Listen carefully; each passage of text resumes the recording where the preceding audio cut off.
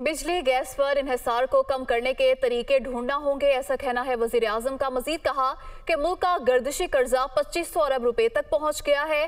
PTI हुकूमत ने सस्ता तेल और गैस ना खरीद कर मुजरिमाना गफलत का मुजाहरा किया। इतिहादी हुकूमत मुल्क के मुआशी मसाइल के हल के लिए कोशा है। विफाकी काबीना के इजलास की मजीद तफसी जानते हैं नुमाइंदा जावेद हुसैन से। जी, जावेद हुसैन, बताइएगा।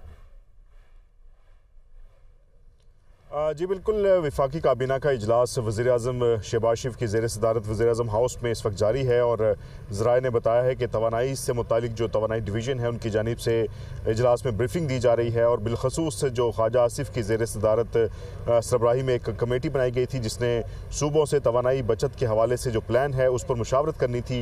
उस से मुतल रिपोर्ट भी ख्वाजा आसिफ ने काबीना के सामने वो पेश कर दी है और इस मौके पर जो है वो तोानाई को, के का जो बचत प्लान है, उस पर अमल दरामद कैसे होगा? इस हवाले से पावर डिवीज़न की जानब से भी ब्रीफिंग दी जा रही है और इस मौके पर वजी अजम ने यह कहा कि पाकिस्तान का तेल और गैस का जो इम्पोर्ट बिल है, वो तकरीबन सत्ताईस सौ अरब डॉलर है, जिसे कम करने की ज़रूरत है और तेल और गैस पर इहिसार को कम करने के लिए मुतबादल जो ज़राए हैं तोानाई के, वो इख्तियार करना होंगे, वो लाना होंगे।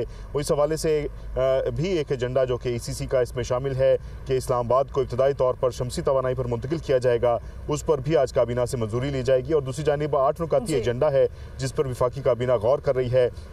और इसी एजेंडे में तोशा खाना से मुतालिक भी एक रिपोर्ट है जो कि ख्वाजा पेश करेंगे और शुक्रिया आपने तफसीत से आगाह किया।